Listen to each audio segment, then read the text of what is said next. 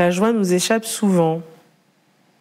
Facture, inflation, problèmes, charge mentale, viol, agression, dépression, rupture, spoliation, discrimination, découvert, maladie.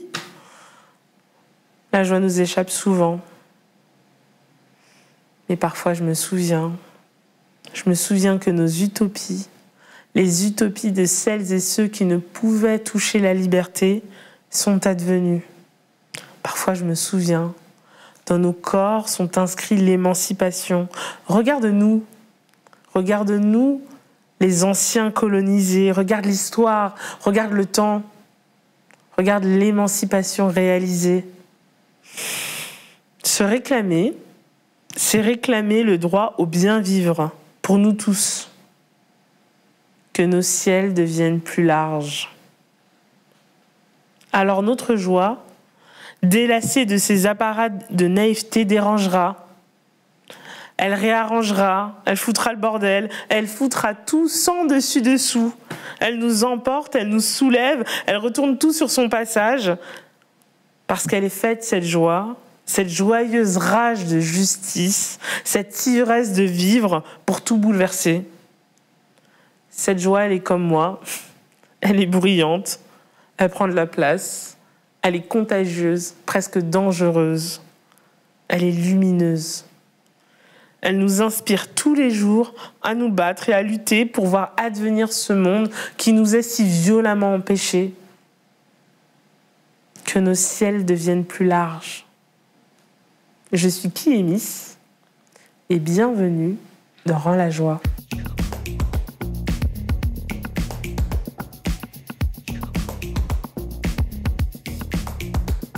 Alors, aujourd'hui, comme complice de la joie, j'accueille Johanna Maccabi pour discuter de récits, euh, d'imaginaire et évidemment de joie.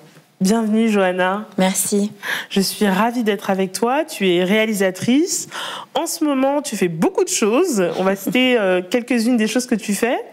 Euh, tu as un court métrage sur Mbissine Thérèse Diop, Notre mémoire, qui est sélectionné au Festival d'Atlanta et qui est disponible sur la plateforme Henri de la Cinémathèque française. Tu as également réalisé deux autres courts métrages, Grâce et Laundry Day, euh, qui a été fait à New York, si je ne me trompe pas qui seront aussi au New York African Film Festival. On va peut-être en parler. Ils sont sélectionnés d'ailleurs dans ce festival.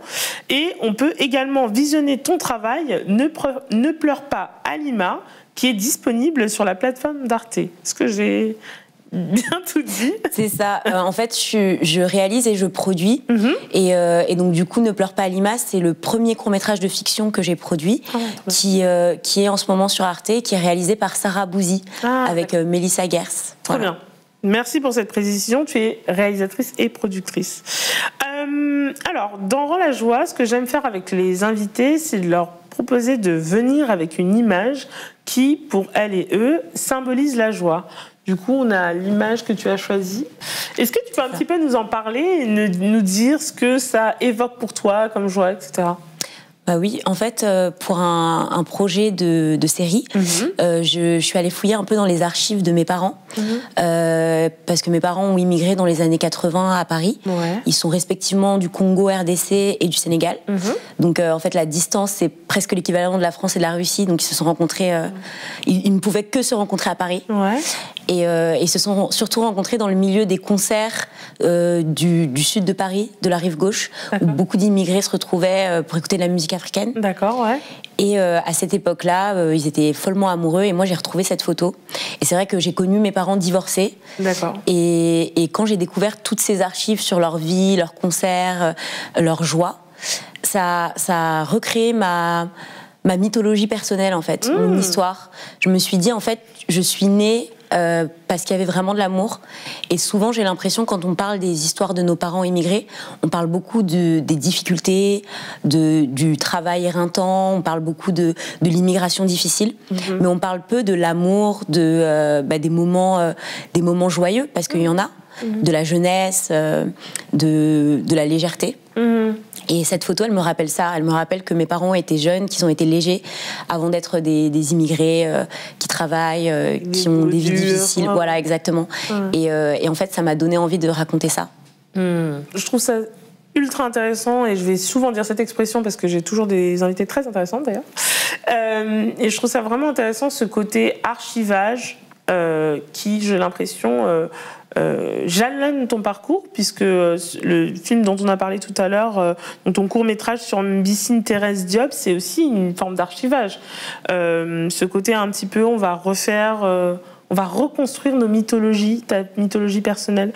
Euh, j'ai été beaucoup inspirée de la, de la psychologue Stella Thiedry-Bengo qui parle justement de cette question des bibliothèques mentales. Mhm. Je ne sais pas si tu as déjà entendu cette expression. Et comment, dans ton travail justement, tu arrives à réinsuffler cette question de joie et de légèreté euh, dans nos imaginaires? Parce que moi, c'est quelque chose qui me qui nous manque en fait. Je pense que c'est quelque chose qui nous manque beaucoup. Complètement. Bah, en fait, le cinéma, c'est un langage.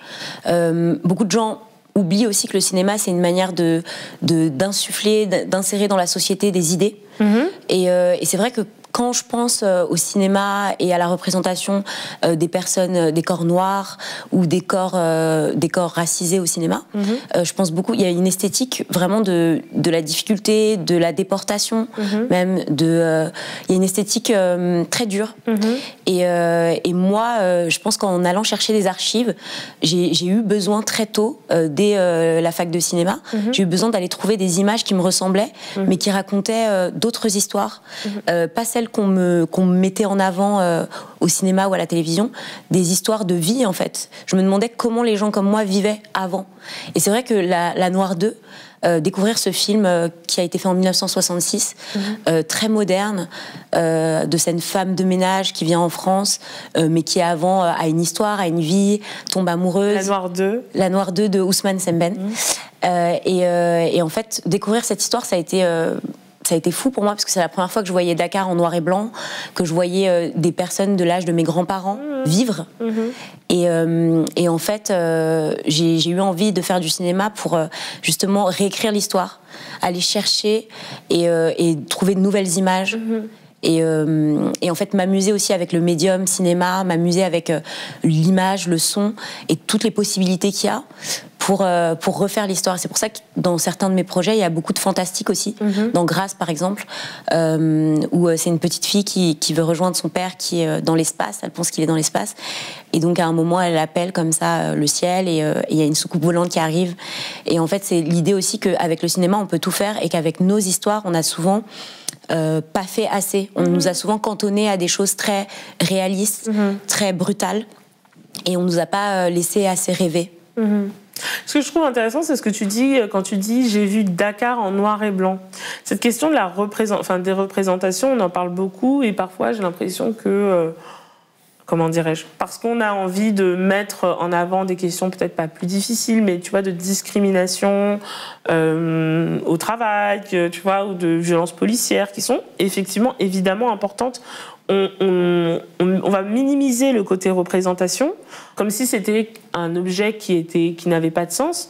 Mais quand tu me dis, j'ai, moi c'est la première fois que je vois Dakar en noir et blanc, c'est la première fois que je vois des gens comme mes grands-parents qui ressembleraient à mes grands-parents euh, au cinéma, ça veut dire aussi quelque chose. C'est comme si on inscrivait en fait euh, les corps noirs, comme si les corps noirs n'avaient pas de passé finalement. Tu parlais de légèreté, mais aussi il y a aussi cette question de du passé qu'il faut aller reconstituer et que tu dis dans tes archives et je, trouve ça très intéressant.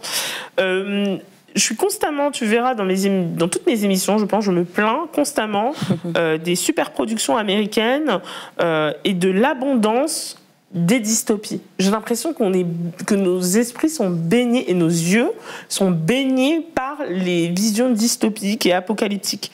À ton avis, qu'est-ce que ça révèle en fait cette obsession des fins apocalyptiques? Qu'est-ce que ça dit de nos imaginaires? Je, te parle euh, en tant que réalisatrice et aussi productrice du coup. Mm. Qu'est-ce que c'est aussi de dire bah on va que produire ces imaginaires-là? En tout cas, c'est c'est ce qui va être le plus facilement accessible parce que j'imagine qu'il y a évidemment il y a d'autres choses. Je pense qu'on est, enfin je pense qu'il y a aussi des réflexions communes qui se retrouvent dans le cinéma. Mhm. Et en ce moment, on est dans une période où on sent qu'il y a peut-être la fin euh, d'un monde tel qu'on le connaissait. Et je pense que c'est aussi cette angoisse-là que, que ces films euh, montrent mhm. euh, sur notre société. Après, euh, je pense que en ce qui concerne les personnes que moi j'ai envie de montrer et de représenter, j'en parlais avec des réalisateurs un peu plus âgés euh, français mhm. et noirs. Ils ont une mission très difficile, mhm. qui est celle de représenter euh, les personnes noires, la, première génération de personnes noires nées en France, mhm. certainement les Afro-Français. et, et, en fait, je pense qu'il y a aussi beaucoup de points d'interrogation sur cette population. Il y a beaucoup de gens qui ne savent pas comment on vit, qui ne savent pas qui on est, qu'on a un passé. Mhm. Et donc, je pense que les réalisateurs actuels ont cette tâche qui est très difficile d'ouvrir la voie. Mhm. Euh, et, donc, euh, c'est compliqué, en fait, de, de, de, pouvoir raconter tout ce qu'on a envie de raconter quand beaucoup de gens ne savent même pas qu'on existe. Mhm. Moi, j'ai la chance, je pense, euh, d'arriver un peu plus tard, puisque euh, le cinéma, ça met du temps. Mhm. Donc, moi, pour l'instant, je fais du court métrage, mais euh, les longs métrages que je suis en train de faire sortiront pas tout de suite. Et, et en fait, j'ai la chance de pouvoir commencer à, à, à raconter des histoires euh, juste de personnes qui vivent, euh, qui existent dans l'espace euh, et qui, qui vivent la joie, de la peine. Mm. Et, et c'est pas la même chose quand on a cette mission de raconter toute une population, de raconter aussi la place de cette population dans une société. c'est beaucoup plus compliqué et ça demande aussi de, de faire appel à beaucoup de références mm-hmm. pour qu'un large public puisse avoir accès. Et je pense que c'est ça quand on parle de super production, quand tu parles de, des blockbusters. Je pense que comme comme c'est des, films qui s'adressent à un large public, bah forcément, tu t'adresses euh, à, toute la société et donc tu dois parler de, des angoisses de la société. Hmm. Et en fait, tu nourris aussi les angoisses de la société. Bah, c'est un peu voilà, c'est un peu un cercle vicieux parce que du coup, euh, effectivement, tu dois parler entre guillemets au large, au large part de la de la société. Mais bon, tu me diras, j'ai cette euh, espérance de croire que la joie aussi, ça peut parler, tu vois, la, création d'autres univers, euh, ça peut aussi parler à de large pans de la société. C'est cette, vraiment cette, espèce d'obsession qui me, qui, me, qui me porte. Et effectivement, on est... On, enfin, qui me... Pas elle me porte pas, mais elle m'embête en fait. Elle mhm. m'embête parce que je me dis on est tous angoissés. Euh, je comprends pourquoi la dystopie ça pouvait dénoncer à une période, mais maintenant je sais pas si ça ça remplit son, sa tâche de dénoncer en fait et d'avoir ce choc quoi. Ouais, ça a un sens. Mais en fait, c'est assez drôle que tu dises ça maintenant que tu fasses cette émission mm. parce que je pense que ça montre aussi que les gens en ont marre mm. de voir des dystopies. Ça fait 20 ans aussi qu'à la télévision, on n'a que des, des anti-héros, des, mm-hmm. des, personnages très durs. Mm-hmm. Euh, Walter White, euh, je pense à Walter White dans Breaking Bad, ce genre mm. de personnage. Et je pense que les gens en ont marre mm-hmm. et qu'on arrive à une période euh, où on va avoir envie de comédie, on va avoir envie de, de voir des, des, histoires qui finissent bien, euh, on va avoir envie que les robots et les humains vivent euh, en harmonie. Euh, mais tout simplement parce qu'on est parce que la, la, dystopie commence à ressembler beaucoup à la réalité. Totalement. Et j'ai l'impression que du coup, elle perd vraiment son côté subversif qu'elle pouvait avoir peut-être dans les années 70 ou 80, quoi. Enfin. Euh, ou 90 même, peut-être pour le cinéma, mais tu vois, même dans la littérature euh, dystopique, puisque ça, enfin, moi je pense surtout au genre de la science-fiction, que je connais pas par, par cœur, mais j'ai l'impression que ça naît quand même dans ce genre-là. Mm. Ça avait quand même une capacité de d'alerte, mais là on n'est plus alerté. Enfin, si on entend l'alerte pendant 20 ans, 30 ans, euh, ben, on l'entend plus au bout d'un moment. Quoi. Enfin, je suis totalement d'accord. Je pense que le cinéma américain, en tout cas, a eu ce rôle pendant un moment de d'anticiper, de, mm. parler un peu en, en avance. C'est pas le cas du cinéma français malheureusement. Mm-hmm. Mais aujourd'hui, avec les plateformes et le fait qu'on ait accès à énormément de récits, je pense que ça aide quand même euh, de plus en plus le public à faire des choix et à montrer euh, aux, gens qui font des films qu'on a envie de voir certaines choses, qu'on a besoin de certaines choses, et que euh, et, je pense qu'on rentre dans cette période où l'imaginaire reprend le pouvoir mm-hmm. et où plus tu fais une série, un film ou une série complètement barrée, je pense à Everything, Everywhere, All at. Once, mm-hmm. qui a eu plein d'Oscars. Plus tu fais des choses comme ça, et plus les gens vont être intéressés. Je pense que l'imaginaire reprend le pouvoir en ce moment. Mais euh, c'est, euh, enfin, le, cinéma, tout ça, toutes ces industries, ça reste un peu mystérieux hmm. parce que les gens ont envie de voir à tel moment. Euh, c'est un peu compliqué. Bah, évidemment. Et toi, en, tant que productrice et réalisatrice, c'est intéressant parce que tu as en même temps cette casquette. donc de comme, enfin, j'imagine, tu, tu, me détromperas si évidemment si je fais une erreur, mais tu as en même temps cette, la question de la création un petit peu, et en même temps cette question de bah, comment on fait pour produire euh, j'imagine matériellement et comment on mm. fait pour justement le permettre que cette création artistique euh, touche le plus grand nombre. Enfin, je sais pas si j'ai bien résumé, mais j'imagine que c'est ça. C'est ça. Est-ce que tu, tu, tu, vois une tension justement euh, entre ton travail de réalisatrice où justement tu veux amener d'autres imaginaires, tu veux, euh, tu veux un peu sortir des archives personnelles une vie que certains n'ont pas connue et ton, ta casquette de productrice, est-ce que tu vois euh, cette, une tension ou au contraire ça se mêle bien? Au contraire, moi, moi je pense que c'est complémentaire parce que c'est vrai qu'en France c'est pas courant de mettre ça en avant, de dire mhm. je fais les deux parce que mhm. ça peut faire peur. Mhm. Mais euh, je pense que c'est nécessaire en fait de déjà de d'avoir une connaissance de comment on fabrique un film quand on veut faire des films. Euh, quand on est réalisateur euh, et producteur, je pense qu'on a beaucoup d'empathie quand on réalise parce qu'on sait à quel point c'est difficile de produire un film. Et en même temps, moi, je, bah, j'aime faire plein de choses, comme tu disais. Et, euh, et, je pense que je peux pas tout raconter. Je peux pas réaliser tous les films du monde. Par contre, je peux aider d'autres gens à, les à réaliser leur, leur, histoire et à, à, mettre, aller au bout de leur projet, euh, à mettre les mots sur euh, leur récit. Et, euh, et c'est ça aussi être producteur. C'est accompagner quelqu'un euh, pour qu'il aille au bout de son idée. Mm-hmm. Et moi, je trouve ça beau je trouve ça aussi beau que d'être réalisateur où, tu accompagnes une équipe euh, avec ta vision mhm. euh, et où on construit quelque chose ensemble. Mhm. Donc euh, pour moi, les deux sont complémentaires et c'est c'est ce que je veux faire.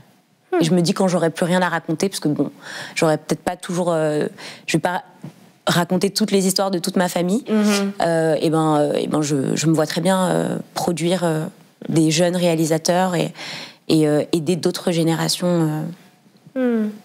Et du coup, comment. Enfin, je sens ou j'imagine que c'est un petit peu aussi un début de bout de réponse à ma question. Ma prochaine question qui est comment tu maintiens cette joie de créer? On est. Enfin, j'imagine que tu es jeune, aussi, on va dire, entre guillemets.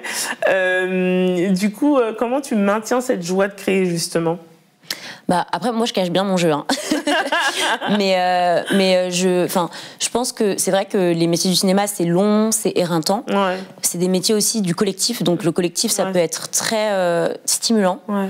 Euh, comme ça, ouais la communauté ça peut être très stimulant, comme ça peut être très difficile mm-hmm. parce que on travaille parfois avec des gens qui n'ont pas la même vie que nous, qui n'ont mm-hmm. pas les mêmes histoires, mm-hmm. et, et c'est aussi un défi de, de dire bah voilà je dois te convaincre, je dois convaincre un maximum de personnes de travailler avec moi. Euh, et, en fait, je pense que c'est le premier public. Ton équipe, quand tu veux faire un film, c'est ton premier public. Si tu arrives à convaincre ces gens de travailler avec toi, de te faire confiance, eh ben, tu arriveras sûrement à, à, convaincre euh, un public de suivre ton histoire pendant une heure et demie. Mmh. Et, euh, et, moi, je pense que cette joie, ouais, je la trouve vraiment dans la rencontre dans la rencontre avec les gens, mmh. euh, les gens de mon équipe, dans la rencontre avec le public ensuite quand j'échange sur mes films, mmh. dans la rencontre avec l'histoire aussi quand, quand j'ai une idée, j'ai toujours plein d'idées. Et, euh, et, quand tu commences à les mettre en place, quand tu commences à rencontrer, euh, je fais aussi du documentaire, quand tu commences à rencontrer un personnage que tu as envie de, suivre, mhm. ou quand tu commences à rencontrer une actrice que tu as envie de filmer, mhm. ça, ça me stimule et, euh, et, ça me donne toujours envie de créer. Je pense que c'est cette chance que j'ai de faire du cinéma où tu as toujours un truc nouveau. En fait, chaque film est une nouvelle, une nouvelle aventure, une nouvelle manière de réaliser, une nouvelle une nouvelle quête. Et, euh, et à la fois, c'est dur et, parce que tu repars toujours de zéro. Et en même temps, c'est hyper stimulant parce que je vais jamais m'ennuyer. Hmm. Voilà. Est-ce que tu penses que c'est dur de produire de la joie ou de réaliser de la joie? Parce qu'il y a ce côté aussi euh, que j'ai beaucoup entendu quand j'étais plus jeune, c'est que les histoires euh, tristes ou tu vois les dystopies, au final, c'est quand même plus facile à raconter parce qu'il y a une histoire. Et du coup, j'ai envie de te poser la question est-ce que tu penses que les sentiments, disons, positifs ou joyeux. Tu vois, tu parlais de l'histoire avec tes parents, euh, euh, raconter un peu ce Paris qu'on ne connaît pas, euh, mettre un peu de légèreté. Est-ce que tu penses que c'est plus facile ou plus difficile parce qu'il n'y aurait pas d'histoire, parce qu'il n'y aurait rien à raconter, parce que les, gens joyeux n'ont rien à raconter. Enfin, Qu'est-ce que tu en penses de ça? Moi, je suis pas d'accord. Je pense que je pense que tout est une question de dosage. Mhm. Euh, faire des films, c'est euh, raconter de l'émotion, mhm. c'est procurer de l'émotion. Et, euh, et, je pense que toute émotion est, intéressante. Mhm. Ça dépend comment tu le racontes, par quel chemin tu passes. Mais, mais je pense que la joie a sa place au cinéma, plus que jamais. Tu m'étonnes Ok, je suis ravie de l'entendre euh, parce que je pense que c'est important de le dire en fait, tu vois. Mm. Comme je te dis, on entend beaucoup ça. Quelles recommandations tu peux donner aux gens qui en ont marre justement de, de voir toutes ces dystopies? Moi, la première. Alors bah, là en ce moment, euh, moi je j'écoute beaucoup de podcasts, euh, donc rien à voir. Mais euh, il y a ce podcast que j'écoute en ce moment qui s'appelle Vibe avec ton enfant intérieur de Valérie que je trouve génial. Ouais. Euh, et euh, je le recommande parce que je, trouve que c'est euh, une réflexion intéressante. Ouais. Et après, en termes de recommandations culturelles, moi je regarde beaucoup en ce moment. J'aurais voulu donner une, une, recommandation française, mais on est encore trop dans le drame. dommage. Mais, mais je recommande. alors, si je, je, recommande deux projets, c'est Awa de Maïmouna Doucouré, qui était un beau conte de Noël que j'ai vu sur Prime. D'accord. Et, et qui, qui, est joyeux malgré tout, qui parle de, de résilience et de mhm. joie. Euh, et, je recommanderais euh, Abbott Elementary, qui est une ah. série ah euh, qui me donne énormément de joie en ce moment ah et, qui est très drôle. Et c'est vraiment la, sitcom assez, assez drôle à regarder quand on a un petit moment. Le problème, c'est que je ne sais pas si elle est diffusée par canaux légaux en France, cette série Abbott Je crois que sur Prime. Ah ouais, elle, est sur Prime elle est sur Prime. Ah, ok, bon. On n'aime pas trop Amazon, mais c'est pas grave. ouais, désolé. Bah, J'ai donné que des références. Ils ne me payent pas pour ton dommage. mais voilà. Pour l'instant, c'est ce que j'ai. Bah, merci à toi, Joanna, pour cette superbe discussion. J'ai adoré passer ce moment avec toi. Moi aussi. Nous nous retrouvons dans deux semaines avec euh, une ou un prochain invité. À bientôt.